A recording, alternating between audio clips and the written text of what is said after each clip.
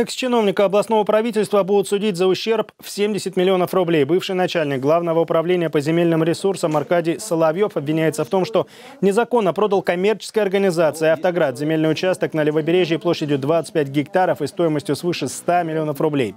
При этом установлено, что максимально возможный размер выделяемого компанией земельного участка не мог превышать 176 квадратных метров. В результате сделки городской бюджет потерял десятки миллионов, отметили в прокуратуре. Дело возбуждено по статье превышения должностных полномочий. По иску мэрии суд обязал вернуть землю в муниципальную собственность. Вину Соловьев не признал.